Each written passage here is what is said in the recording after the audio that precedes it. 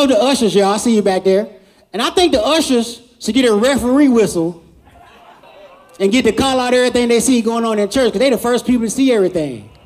Like if somebody getting their blessing blocked, blocking, count the blessing, and one. And some of y'all ladies be coming to church with y'all blessings hanging all out. Double dribble.